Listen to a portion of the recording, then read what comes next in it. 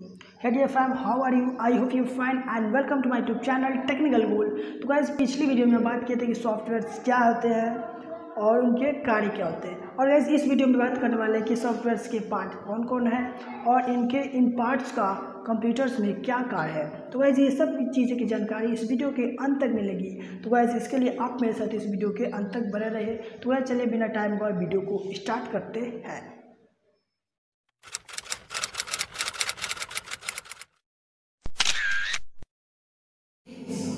तो है क्या सॉफ्टवेयर सॉफ्टवेयर एक प्रोग्रामर कलेक्शन है जो कि पार्टिकुलर टास्क को कंप्लीट करता है। तो वैसे इसका पूरे डिटेल्स वीडियोस हम पहले अपलोड कर चुके हैं। अगर आप वो वीडियो देखना चाहते हैं तो उस वीडियो का लिंक आपको डिस्क्रिप्शन में मिल जाएगा। तो वैसे पहले ये वीडियो आप देख लीजिए उसके बाद वो वीडियो आप बाद में देख सकते हैं। कोई देर नहीं है। तो वैसे आज हम बात करने वाले हैं कंप्यूटर सॉफ्टवेयर कंप्यूटर सॉफ्टवेयर का कितने पार्ट्स हैं? टू पार्ट्स है। और इन टू पार्ट्स के बारे में बात करने वाले हैं कि इनका कार्य क्या है, और इनका कंप्यूटर सॉफ्टवेयर में क्या क्या कार्य तो वैसे ये सारी चीज़ें की जानकारी हम देंगे। तो वैसे softwares computer softwares two parts का होता है। एक सिस्टम सॉफ्टवेयर दूसरा एप्लीकेशन सॉफ्टवेयर तो वैसे सिस्टम सॉफ्टवेयर भी कुछ पार्ट्स होता है एप्लीकेशन सॉफ्टवेयर का भी कुछ कार्य होता है सिस्टम सॉफ्टवेयर भी कुछ कार्य होता है। तो सबकी जानकारी हम देंगे। तो वैसे सबसे पहले बात करें कि हम कि ऑपरेटिंग सिस्टम सॉफ्टवेयर क्या है? So so, system software software से एक ऐसा पार्ट है जो कि हार्डवेयर एवं सॉफ्टवेयर के बीच कार्य करता है। आई मीन कि हार्डवेयर का इसलिए प्रबंधन एवं नियंत्रण करता है। सो so, ये था इसकी जानकारी। इसको ज़्यादा नहीं इसमें?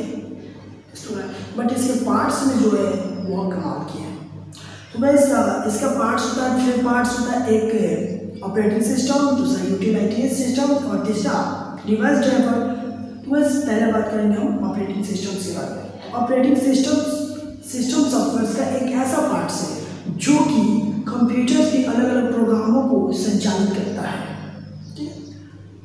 आई मीन कि जो हमारे निर्देश होते हैं, हम जो कंप्यूटर्स पे कार्य करना चाहते हैं, जो हम देखना चाहते हैं, वह ऑपरेटिंग सिस्टम्स कंप्यूटर्स को समझाता है।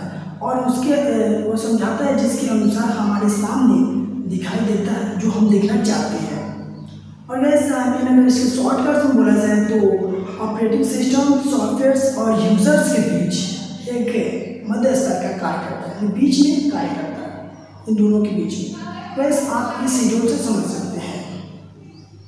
वैसे उसके बाद बताती है कि यूटिलाइजेज सिस्टम्स यूटिलाइटीज क्या है? यूटिलाइटेड सिस्टम सॉफ्टवेयर का एक पार्ट है, जो कि कंप्यूटर में सुरक्षा का कार्य करता है। लेकिन गैस इसमें एक एक, इसमें भी एक खूबी है, यानी कि इसका हार्डवेयर जो होता है, ये वो सीधा संपर्क में नहीं होता है।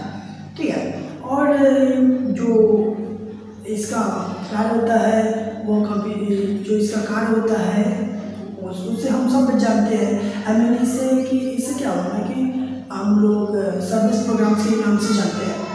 हमें इसको इसे बोला जाए तो अगर इसको कैसे बोला जाए तो इसको बोल सकते हैं कि यूटिलाइटीज यूटिलाइटीज सिस्टम सॉफ्टवेयर का एक ऐसा पार्ट है जो कि सर्विस प्रोग्राम्स के नाम से भी जाने जाते हैं और यह कंप्यूटर्स यह कंप्यूटर में सुरक्षा का कार्य करता है और इसका संबंध हार्डवेयर से सीधा संपर्क नहीं होता। और इसका हार्डवेयर से संपर्क सीधा नहीं होता। है तो थोड़ा उल्टा फिल्टा हो गया। सो एडजस्ट कीजिए।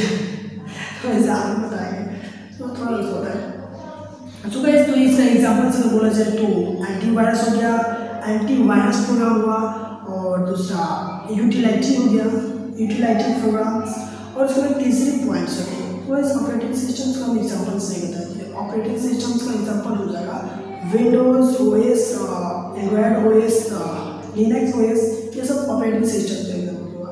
और यूटिलिटीज़ का होगा, जो बताया antivirus programs antivirus programs utility programs ये बताया तो थोड़ा एडजस्टमेंट्स कर सकते हैं। सो सॉरी थोड़ा सा बोलने में प्रॉब्लम हो जाता है ना, इसलिए। तो उसके बाद तीसरी बात आती है ऑपरेटिंग सिस्टम्स का डिवाइस ड्राइवर सुबह डिवाइस ड्राइवर सिस्टम सॉफ्टवेयर का एक विशेष प्रकार का प्रोग्राम्स है, जो कि कंप्यूटर्स को आउटपुट डिवाइस से जोड़े रखता है, ताकि कंप्यूटर से इन दोनों के बीच संचार का काम हो सके। जैसे एग्जाम्पल्स हो जाए तो ऑडियो ऑडियो ड्राइवर्स हुआ ग्राफिक ड्राइवर्स हुआ, और इट इज़ बहुत से एग्जाम्पल्स हो सकते हैं। तो उसके बाद बात आती है कि सॉफ्टवेयर का दूसरा पार्ट से एप्लीकेशन सॉफ्टवेयर क्या होता है। वह एप्लीकेशन से आप समझ सकते हैं कि एप्लीकेशन जिसमें लिखने के द्वारा काम वैसे एप्लीकेशन सॉफ्टवेयर से सॉफ्टवेयर से एक ऐसा पार्ट है जो कि कंप्यूटर पर आधारित कार्यों को हम लिख कर पूरा कर सकते हैं। जैसे कि ब्याज की गणना करना हो इनकम टैक्स की गणना करना हो, पैसे की गणना करना हो, या फिर कोई लेन देन करना हो, जिसे हम लिख कर पूरा कर सकते हैं। वैसे टास्क को पूरा कर सकते हैं जो लिखने द्वारा हो सके। तो ऐसे ऐसे जो कार्य होते हैं वह सब हमारे एप्लीकेशन सॉफ्टवेयर के अंदर पूरा होता है। तो वैसे ये था कि एप्लीकेशन सॉफ्टवेयर क्या है और सिस्टम सॉफ्टवेयर क्या है इसके कार्य क्या क्या होते हैं। सो गैस आई होप कि ये वीडियो आपको पसंद आएगा वीडियो पसंद आए तो वीडियो को लाइक कर दें।